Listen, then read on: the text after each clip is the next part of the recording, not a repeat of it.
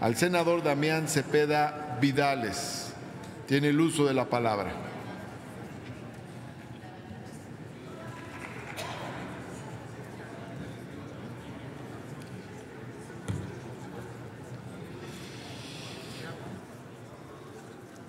Gracias, presidente.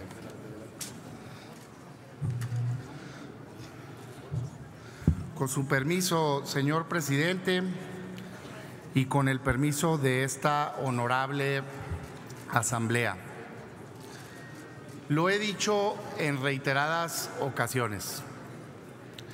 No existe un nombramiento más importante que haga el Poder Legislativo en su conjunto, no solo la Cámara de los Senadores, que el nombramiento de quién va a ser un ministro o una ministra de la Suprema Corte de Justicia de la Nación.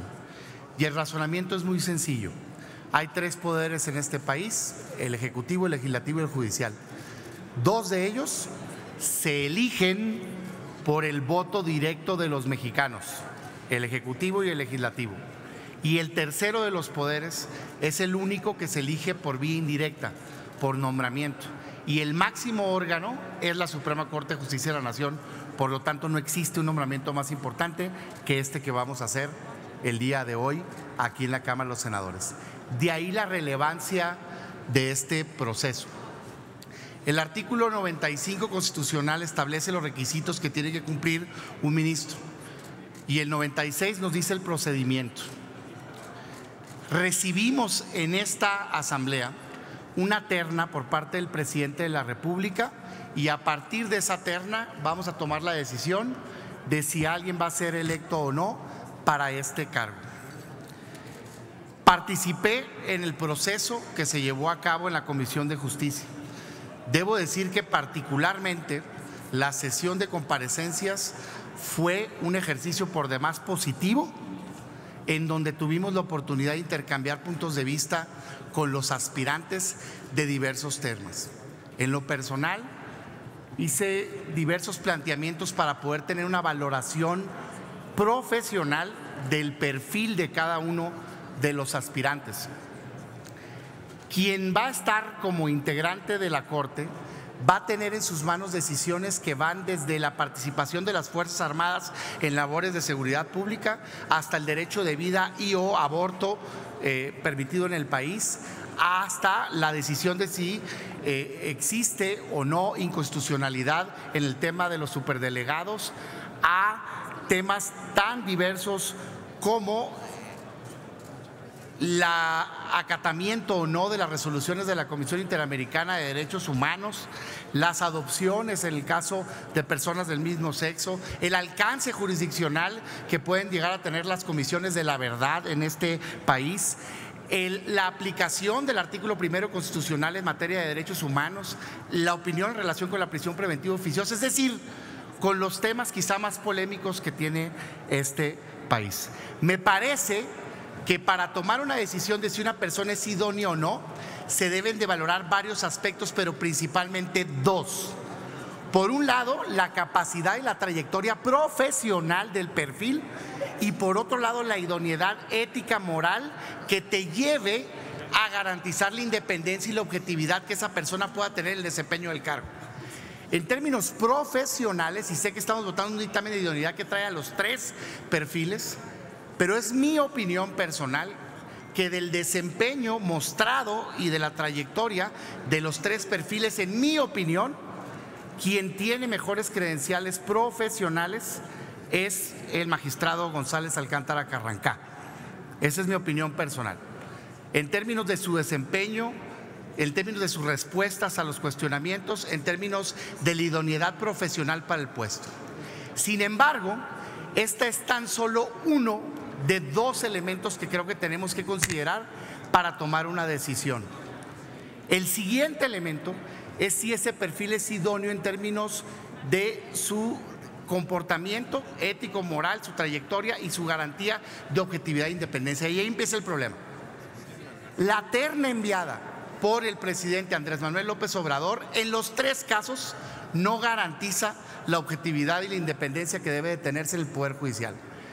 Se llegó al extremo en dos de ellos de proponer a un militante partidista.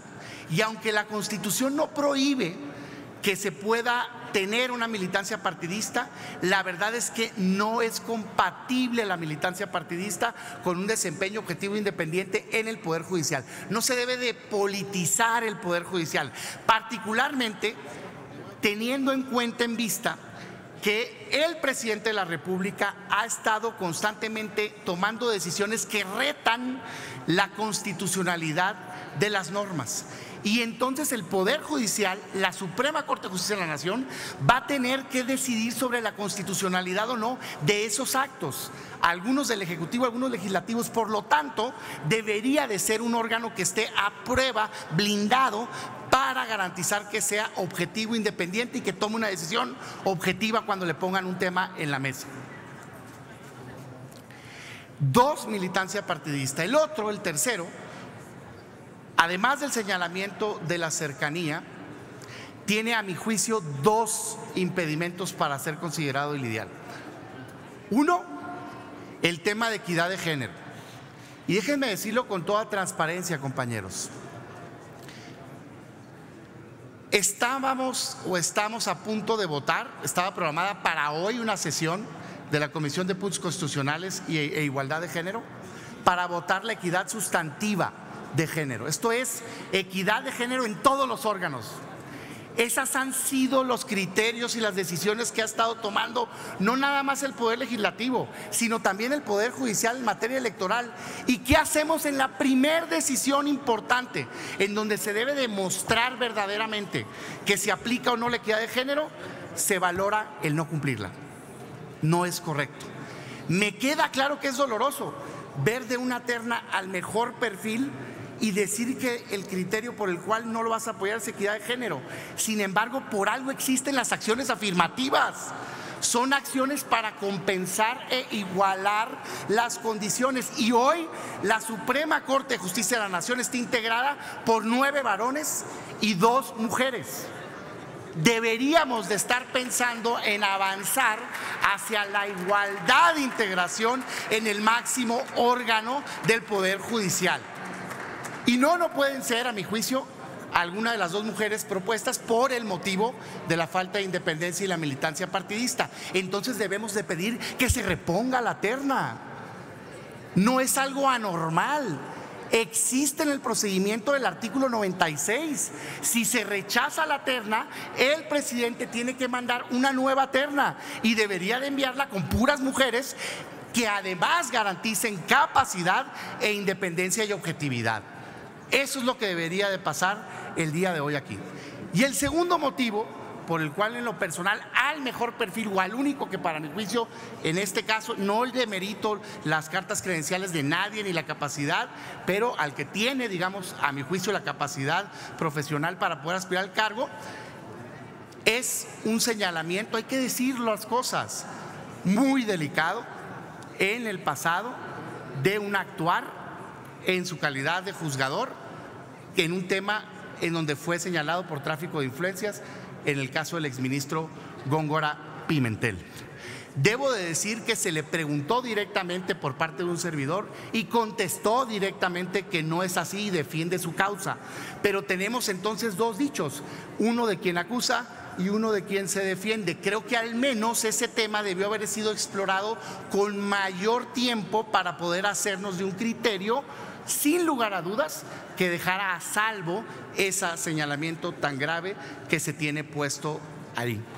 Habiendo dicho eso y con esta honestidad de decir que en efecto me parece que profesionalmente tiene el nivel, en este caso uno de las tres personas, para poder aspirar a ello, me parece que lo correcto es rechazar la terna por completo, no una, las dos ocasiones que vamos a votar hoy, para garantizar que se regrese y que el presidente de la República nos mande una nueva terna con puras mujeres, con independencia y con capacidad.